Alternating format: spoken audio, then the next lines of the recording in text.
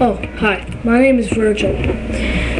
I am the XWF referee. I used to be a wrestler. As you may have on the Warfare Invasion long ago, like three, four months ago. Anyway. Um. What can I say?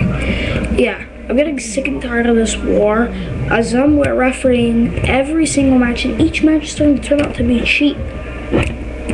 I'm having at least one person cheat or having one person taking advantage while I'm not looking because I'm distracted by the other guy.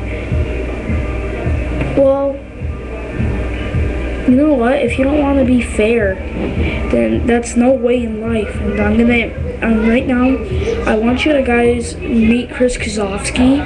He has to talk to you about something. Okay, he is right. But not not that much because you know why? The hardcore championship is now back. Well, it was always here, but you know, barely defended. Now it's defended 24-7. This week on XWF Destruction, exclusive, me telling you.